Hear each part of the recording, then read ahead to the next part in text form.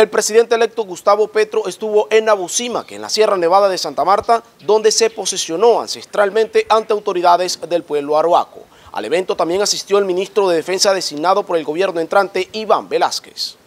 El presidente Gustavo Petro Urrego recibió dos bastones de mando por parte de los mamos de las cancurguas principales a una hora caminando de Namusímaque hasta el recinto sagrado ancestral en la Sierra Nevada, a la altura de unos 2.600 metros sobre el nivel del mar. En la Sierra Nevada, aquí vivimos. La paz y el amor reinan en mi territorio. Somos guardianes del legado de nuestros mayores. Aquí vivimos.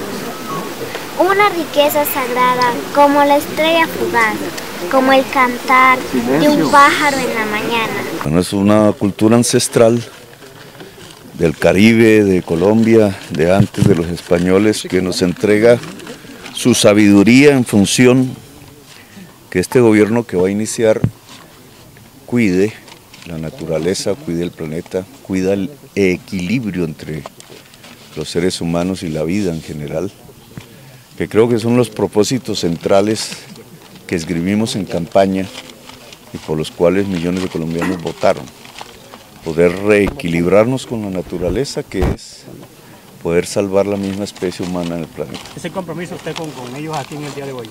Ese es el compromiso central. Del pueblo Huiva. Del pueblo Huiva, me hace...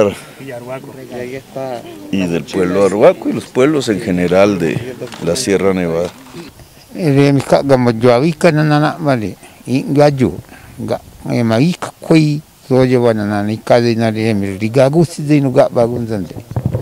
E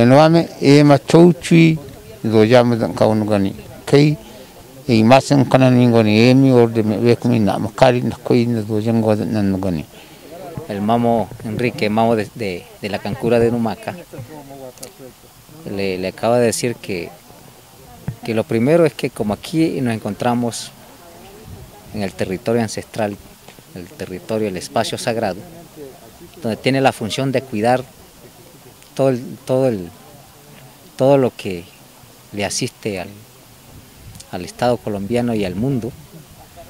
Desde aquí se le está dando el poder, se le está dando la palabra, se le está dando la, ese mandato para que él pueda gobernar como presidente. El presidente Gustavo Petro Rego visitó este recinto sagrado por invitación de los mamos y las cancuras principales.